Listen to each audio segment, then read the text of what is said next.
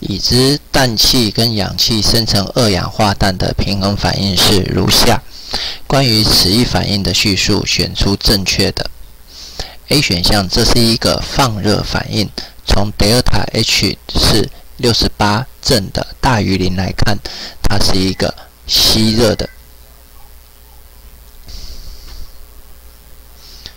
B 选项，二氧化氮的摩尔生成热，系数的二氧化氮啊，二氧方程式的系数，二氧化氮的系数是二，所以应该把六十八除以二得到三十四，才是摩尔生成热。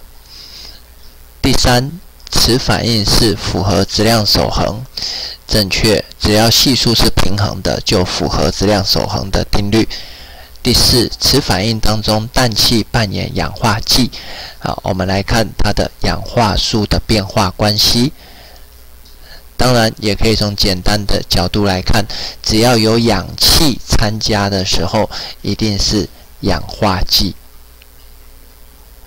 那搭配反应的就会是还原剂。啊，这是从国中的概念就可以来。判断的题型啊，那比较困难的题型要从氧化数的角度啊，反应之前的元素氮是不带电的，氧也是不带电的。